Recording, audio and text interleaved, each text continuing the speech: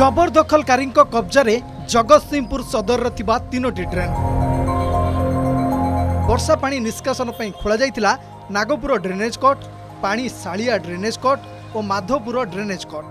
Nagpur drainage cut Jagatsinghpur ସହର ମୁଖ୍ୟ ପେଣ୍ଠସ୍ଥଳ ଥାନା ଛକ ନିକଟରୁ ବାହାରି ବାଲିକୁଦା ପର୍ଯ୍ୟନ୍ତ ଯାଇଛି।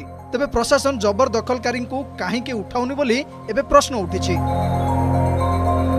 ଅନ୍ୟପଟେ ଡ୍ରେନ୍ ଉପରୁ ଜବରଦଖଲ ନ ହଟାଇ ପୌର ପ୍ରଶାସନ ଓ ଜିଲ୍ଲା ଡ୍ରେନେଜ୍ ବିଭାଗ ପକ୍ଷରୁ କିଛି ସ୍ଥାନରେ ଡ୍ରେନ୍ ନିର୍ମାଣ କରି କୋଟି କୋଟି ଟଙ୍କା ଲୁଟି ନେଇଥିବା ଅଭିଯୋଗ ହେଉଛି ଉଚ୍ଛେଦ ଯଦି କରାଯାଇପାରିବ ତାହେଲେ ଏ ଜଳ ନିଷ୍କାସନ ପଥ ସୁଗମ ହେବ ଏବଂ ଯେଉଁମାନେ ବର୍ଷା ଜଳ ଆସିଲା ମାନେ ଲୋକମାନେ ହନ୍ତସନ୍ତ ହେଉଛନ୍ତି ଏବଂ ପ୍ରଶାସନିକ ସ୍ତରରେ ମଧ୍ୟ ରିଲିଫ ବଣ୍ଟନ ଚାଲୁଛି ଏବଂ ରାଜନୈତିକ ନେତାମାନେ ମଧ୍ୟ ଯାଇକିରି ଗିଫ୍ଟ କରୁଛନ୍ତି ତାହା ବନ୍ଦ କରାଯାଉ କାରଣ ଏପରି ପ୍ରହସନ କରିକିରି କେବଳ ଲୋକମାନଙ୍କୁ ଛାନିଆ କରାହେଉଛି ଏବଂ ଲୋକମାନଙ୍କୁ ଗୋଟେ ଭୁଲ ସନ୍ଦେଶ ଦିଆଯାଉଛି ଯେ ଆମେ ପଦକ୍ଷେପ ନେଉଛୁ ଦୁଃଖର କଥା ଆଜି ପର୍ଯ୍ୟନ୍ତ ଜବରଦଖଲ ଉଠାଇ ପାରିଲାନି ପୌର ପ୍ରଶାସନ କିମ୍ବା ଜିଲ୍ଲା ପ୍ରଶାସନ କିମ୍ବା ଡ୍ରେନେଜ୍ ଡିପାର୍ଟମେଣ୍ଟ ଆଉ ବିଶେଷ କରି ବେଶୀ ଦୁଃଖ ଲାଗେ ଯେତେବେଳେ ଆପଣ ଦେଖିବେ ମାଧବପୁର ଡ୍ରେନେଜ୍ କଟ୍ ଯେଉଁ ଯାଇଛି ଗାନ୍ଧୀ ଛକ ପାଖରୁ ସେପଟକୁ ଯାଇଛି ସେ ଡ୍ରେନ୍ ଆଉ ନାହିଁ କହିଲେ ଚଳେ ତାକୁ ସମ୍ପୂର୍ଣ୍ଣ ରୂପେ ଯେଉଁମାନେ ସବୁ ଜାଗା କିଣୁଛନ୍ତି ତାକୁ ସମ୍ପୂର୍ଣ୍ଣ ରୂପେ ତାକୁ ନିଜ ଅକ୍ତିଆରକୁ ନେଇ ସାରିଲେଣି ଯେଉଁଥିପାଇଁ ବର୍ତ୍ତମାନ ପାଣି ସମସ୍ୟା ବହୁତ ଦେଖାଦେଇଛି ତେବେ ସହରର ଏହି ସମସ୍ୟା ଦୀର୍ଘ ଦିନର କେବଳ ବର୍ଷା ଦିନ ପୂର୍ବରୁ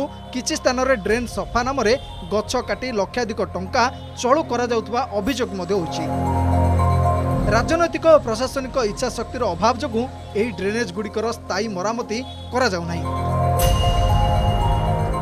ଜଗତସିଂହପୁର ଯେ ଜିଲ୍ଲାପାଳ ଅଛନ୍ତି ଯେ ସବୁବେଳେ ଜଗତସିଂହପୁର ସହରର ଉନ୍ନତି ଜଗତସିଂହପୁର ଜିଲ୍ଲାର ଉନ୍ନତି ପାଇଁ କାମ କରୁଛନ୍ତି। ତାଙ୍କ ଉପରେ ଆମର ବିଶ୍ୱାସ ଅଛି। ଆପଣମାନଙ୍କ ଚ୍ୟାନେଲ ମାଧ୍ୟମରେ ତାଙ୍କୁ ଆମେ ନିବେଦନ କରୁଛୁ। ଜଗତସିଂହପୁର ସହରରେ ଥିବା ପାଣିଶାଳା drainage cut Nagpur drainage cut Madhapur drainage କୋର୍ଟର ଜଳ ନିଷ୍କାସନର ସମସ୍ୟା ପାଇଁ ତାକୁ ଡ୍ରେନେଜ୍ ସୁଧାର ଆଣନ୍ତୁ ସଫେଇ କରିବାର ବ୍ୟବସ୍ଥା କରନ୍ତୁ ମ୍ୟୁନିସିପାଲିଟି ମାଧ୍ୟମରେ। କାରଣ ଆପଣ ହେଉଛନ୍ତି ମ୍ୟୁନିସିପାଲିଟିର ବର୍ତ୍ତମାନ ଆଡମିନିଷ୍ଟ୍ରେଟର ପାଣିଶାଳିଆ ଡ୍ରେନେଜ୍ କଟ୍ କୁହନ୍ତୁ ନାଗପୁର ଡ୍ରେନେଜ୍ କଟ୍ କୁହନ୍ତୁ ଏଗୁଡ଼ିକ ଜବରଦଖଲ ହେଇକିରି ଅଛି। ପ୍ରଶାସନକୁ ବାରମ୍ବାର ପ୍ରଶାସନ ନଜରକୁ ଏକଥା ଆଣିଲେ ମଧ୍ୟ କୌଣସି କାର୍ଯ୍ୟ କାର୍ଯ୍ୟାନୁଷ୍ଠାନ ଏ ବାବଦରେ ଗ୍ରହଣ କରାଯାଇ ପାରୁନାହିଁ ଯାହାଫଳରେ ସହରରୁ ଆବର୍ଜନା ଜଳ ନିଷ୍କାସିତ ହୋଇପାରୁନାହିଁ ତେବେ ଏହି ଡ୍ରେନେଜ୍ ସମସ୍ୟାର ସ୍ଥାୟୀ ସମାଧାନ ଦିଗରେ ପ୍ରଶାସନ ଓ ରାଜନେତାମାନେ ଆବଶ୍ୟକ ପଦକ୍ଷେପ ଗ୍ରହଣ କରିବା ସହିତ ଜବରଦଖଲ ହଟାଇବା ପାଇଁ ପ୍ରୟାସ କରିବା ଜରୁରୀ ହୋଇପଡ଼ିଛି ଜଗତସିଂହପୁରରୁ କ୍ୟାମେରା ପର୍ସନ ସନ୍ତୋଷ ମଲ୍ଲିକଙ୍କ ସହିତ ମାନସ କାନୁନଗୋଙ୍କ ରିପୋର୍ଟ ଅର୍ଗସ୍ ନ୍ୟୁଜ୍।